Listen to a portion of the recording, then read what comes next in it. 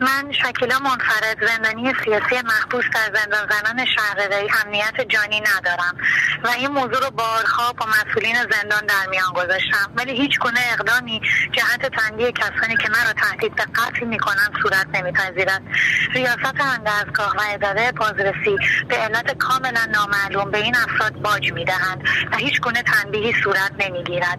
نکته قابل توجه اینه که این چند نفر زندانی در سالن مشاوره دو برای همه ایجاد مشکل کردن و همه از این چند نفر ناراضی هستند و بارها به زندان اطلاع دادن که جای این افراد در سالن سلامت نیست.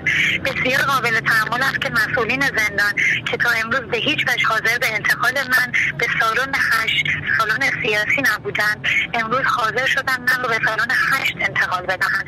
ولی جای این افراد خطرناک تغییر نکند. واقعا چرا؟ هرچند که من مقاومت کردم و در بند مشاوره دو ماندم. بارها به همین علت نامه به دادستان تهران نوشتم و هر بار زندان از ارسال آن نامه ها امتناع می کند و حتی زندان به این افراد کمک می کند تا به اهداف و خواستهای خود برسند من ده ماه در زندان ارچک آسیب دیدم و هر بار قصور و کوتاهی از جانب مسئولین زندان صورت می‌گیرد.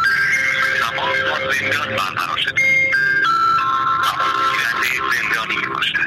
آیا این زندانیان عجیب شده از مرجع قضایی خاصی هستند که هیچ گونه تنبیهی متوجه آنان نیست.